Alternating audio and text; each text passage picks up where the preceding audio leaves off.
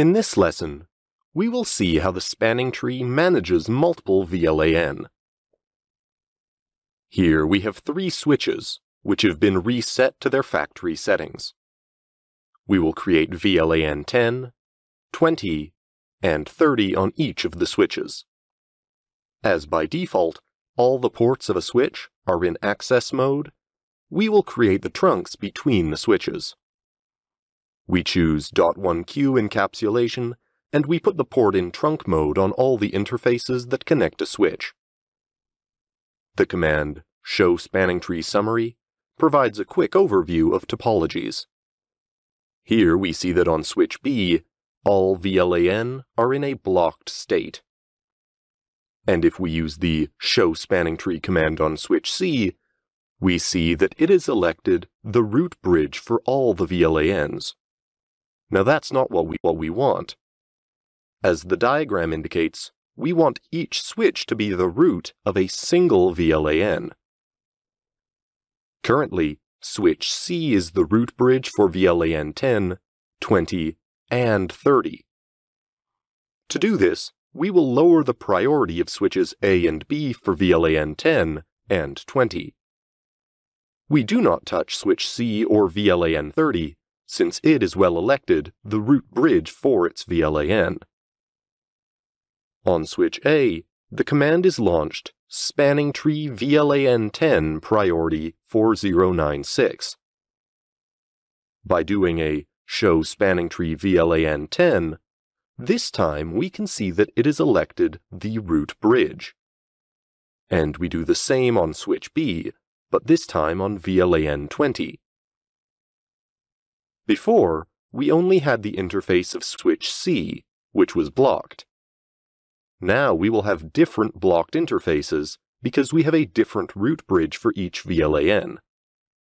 The show spanning tree command is very useful, as it provides all the information you need to analyze the operation of the spanning tree.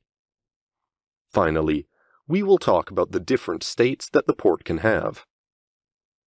Whenever you connect a cable to an interface, there are 15 seconds in listening and 15 seconds in learning before being able to find yourself in the transfer function properly. In total, it will have spent 30 seconds before being fully functional. This operation is essential when you connect several switches to these ports in order to avoid loops. But what if you plug in a simple PC or any other terminating device? As this is end-of-chain equipment, there can... In this case, it is not useful to listen to the BPDU, otherwise the PC would take 30 seconds before it can be used. To get around this, there is a Cisco proprietary solution, which is called PortFast.